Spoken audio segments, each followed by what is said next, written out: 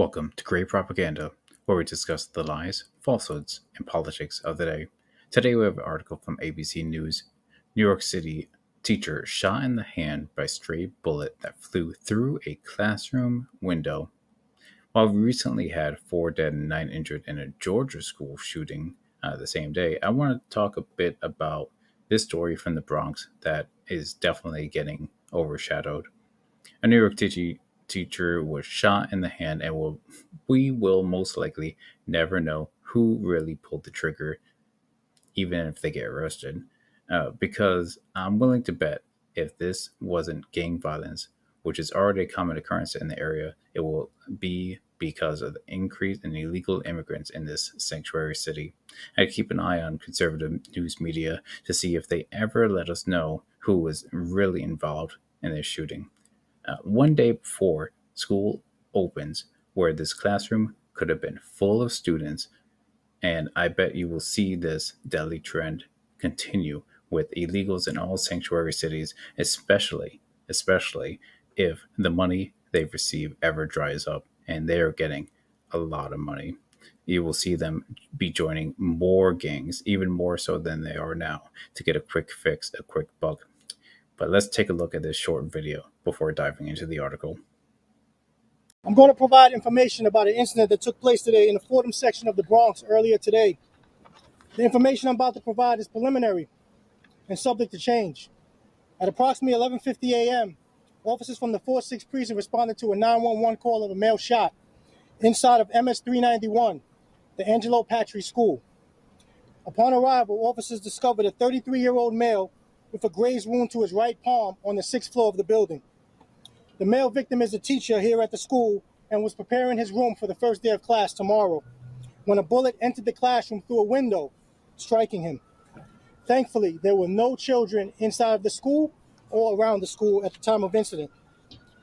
Also, let me be clear, this bullet was not fired from inside the school. And at this point of the investigation, we believe it was fired from a long distance away. The school was not targeted. Our victim was removed to St. Barnabas Hospital where he was treated and released. One fired bullet was recovered from the classroom and processed by our evidence collection team. Out of an abundance of caution, tomorrow we will have an additional school safety agents and police officers on site to ensure the children coming tomorrow and their parents feel safe and are safe. The article begins with a New York City teacher was struck by a stray bullet on the eve of the first day of school while setting up his classroom, police said.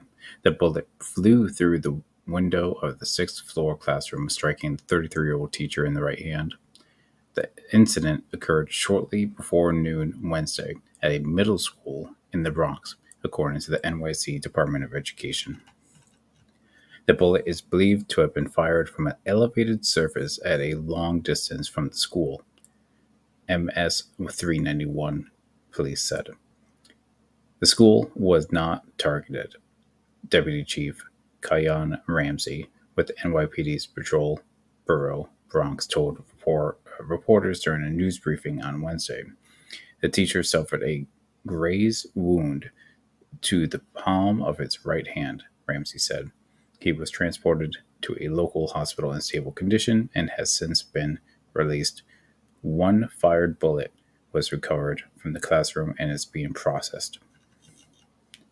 Police are working to determine where the bullet came from and who fired it, according to the police chief.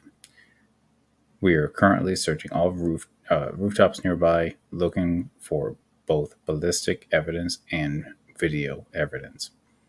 No students in the classroom at the time of the shooting, as school does not start until Thursday. Additionally, no students were around the school at the time.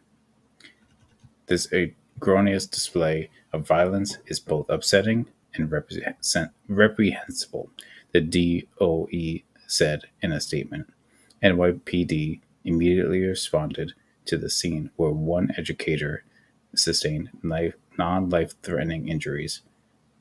We will provide support additional uh, we will provide support additional support to this school community, it reads.